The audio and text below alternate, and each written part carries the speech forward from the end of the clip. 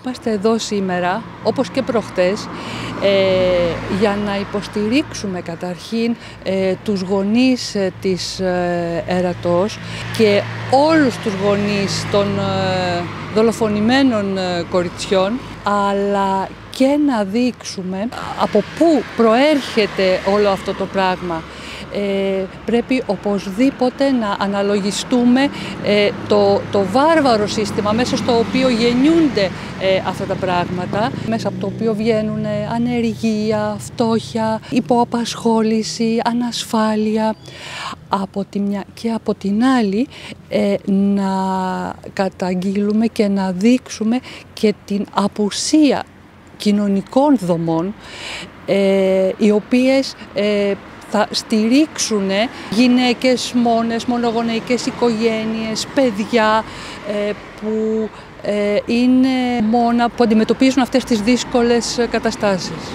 Ε, θεωρείτε ότι η δικαίωση σε όλες αυτές τις υποθέσεις που έχουν απασχολήσει και αφορούν θανάτους γυναικών έχει επέλθει; Ε, όχι όχι κατά την, ε, κατά τη γνώμη μας. Οι γυναίκες αυτές, ε, από ό,τι ακούσαμε κιόλας, αυτό που ζητάνε είναι δικαιοσύνη.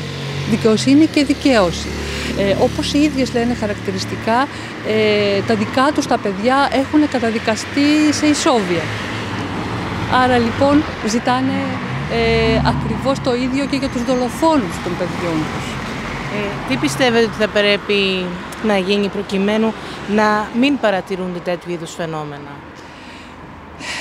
Ναι, είναι ένα πολύ... Είναι σύνθετο ερώτημα, θέλει, ε, έχει πάρα πολλές πλευρές.